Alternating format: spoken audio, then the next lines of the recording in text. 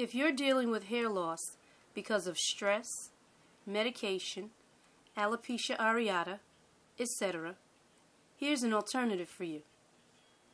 This is a new, groundbreaking technique of hair replacement created by me, Nadia. There's no glue, no wig caps, or plastic coverings used in this procedure. Your scalp is not confined. For more information, contact Nadia at Nadia's Creations 671 at gmail.com.